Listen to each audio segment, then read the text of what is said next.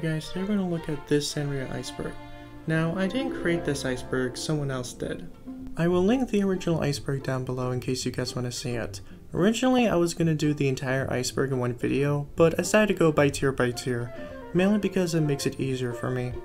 Now, how this iceberg works is that the most popular Sanrio characters are on the top, while the least popular Sanrio characters are on the bottom. First, there's Hello Kitty. Hello Kitty is not only the most popular Sanrio character, but is one of the most popular characters in general. Kitty is a lovable extrovert character that lives with her sister Mimi, her mother Mary, and her father George. I could go into more detail, but we need to move on here. My Melody. Melody is an honest and kind-hearted girl. She was based off the character of Red Riding Hood. In fact, her hood used to be more red than pink. In 2005, My Melody got her own anime that has garnered a cult following. Kuromi. Now, Kuromi is part of the My Melody franchise. She's a tomboy and loves cute guys and hates My Melody. She first debuted in the My Melody anime as a villain.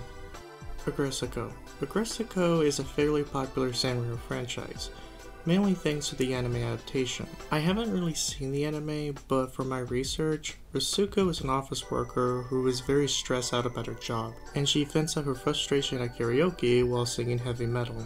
Kero Keroppi, or just Keroppi for short, is a frog who lives under a pond with his family. He enjoys singing, playing basketball, and swimming. By the way, his name is literally a pun. In Japanese, the word Kero literally means ribbit. Another thing interesting I want to share is that Keroppi got his first American introduction in A La magazine in December of 1991. I actually made a whole video on that magazine issue, in case you want to see it.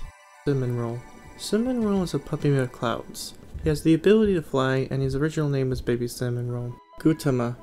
Honestly, I really don't get the appeal of this character. He's literally just a lazy egg yolk. That's it.